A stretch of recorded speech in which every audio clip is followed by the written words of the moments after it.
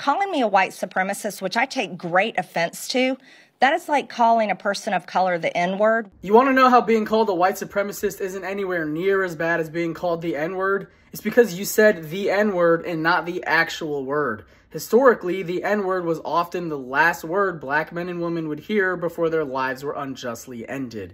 On the other hand, a white supremacist is someone who has chosen to be racist. And if you are someone who's espousing the same racist, anti immigrant conspiracy theories as a white supremacist, you might get called one.